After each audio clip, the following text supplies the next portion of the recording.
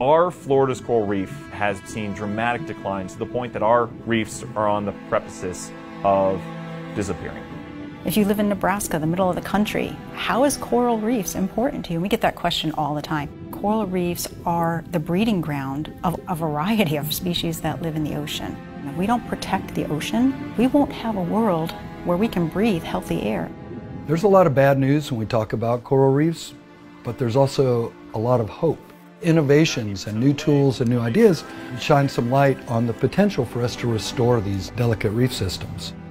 We were really the first people to be able to predictably spawn corals in a biosecure facility, and we can do it in a way where they can be planted back out onto the reefs again. So how do we make restoration and outplanting really efficient? Force Blue retrains and then redeploys former special operations veterans, all military trained combat divers, to work alongside environmentalists and marine scientists on ocean conservation missions. It's a challenge for many veterans to go from that really defined sense of mission and then trying to figure out who you are and what you're supposed to do as a civilian. I fell apart after the Iraq War. That darkness, that shadow, it started tearing me apart. The waters of life from Force Blue completely healed that. The bulk of their underwater work had been in the dark, in kind of murky areas. They never looked around, and now they're getting back in the water, amazed at the biodiversity and how therapeutic it is to have a different mission. Innovation happens when challenges present themselves. Big solutions require collaborative conservation. Everybody is coming together for 100 yards of hope.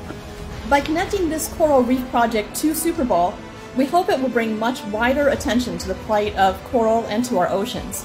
70% of people pay attention to sports, sports news, sports headlines. Only 15% of people pay attention to science. We're at the restoration site, so we've arranged the plot to look like a football field. So each buddy group is actually going to take one of the yard lines to build the perimeter of the field. Most of the things that I've done have been more on the demolition side, so this is pretty neat in the restoration side. People that have experienced trauma and pain want to protect things that cannot protect themselves. We have to heal others or other things to heal ourselves. While our time is dwindling, the fight's not over. Right now, we have the world's attention. All eyes are on Florida. This really is ground zero. If there's anywhere to fight for their future, it's here.